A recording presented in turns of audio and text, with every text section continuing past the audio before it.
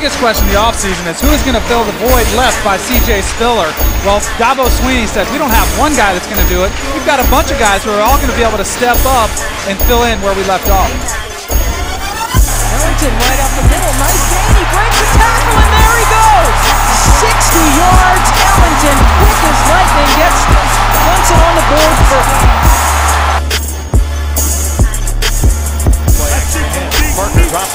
He's going to fire long over the middle, wide open. Brandon clears, got it at the 20, at the 10, at the 5, and there's Orange in the end zone. End zone, end zone. A strike of 71 yards. Kyle Parker. Pressure comes, rolling left, but he can't get away. Sacked. Snap from the left half, dropping the throw, firing, caught by Harper at the 5, breaks a tackle, breaks another.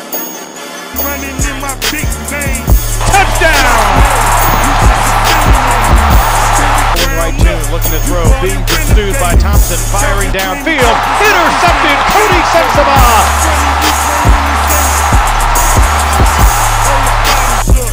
Uh, Jerron Brown has the 10, gets away from man near the 5, dives to the pylon. And Harper, move on the left side across the 10, 15, 20, 25, 30, 35, 40, up the left side across midfield. I think I'm Big.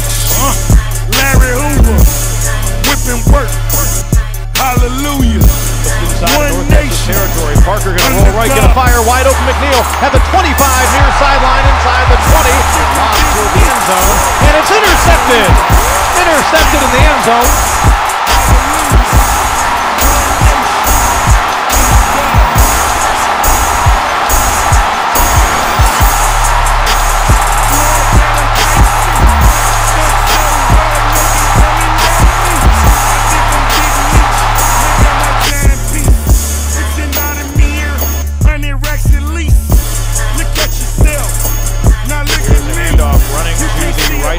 Pushing behind the blocker, the 10 at the 5, leaps to the pylon, and he's in!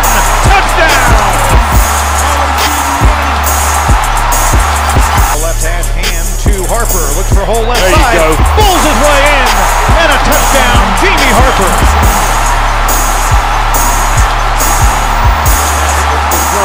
Dropping the pocket, it collapses, and he's sacked. Who is going to fill the void left by CJ Spiller? Once Clemson settled down, a lot of the question marks they had coming into the season were answered rather quickly.